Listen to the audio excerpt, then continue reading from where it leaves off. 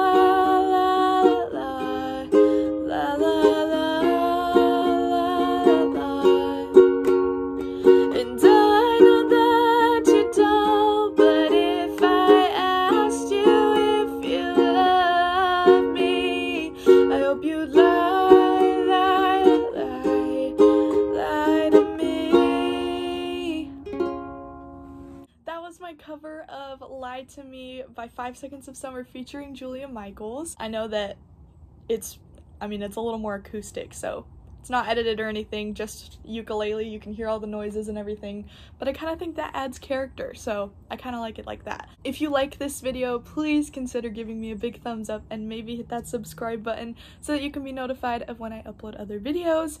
If you want to check out my original music, all of my Spotify, iTunes, and other streaming links will be down below, as well as my Instagram, Facebook, TikTok, Twitter all of the social media so that you can keep up with my day-to-day life. I hope you all are continuing to stay safe out there. Remember to wear a mask, wash your hands, and remember you are. And I will see you all in the next video. Love you. Bye.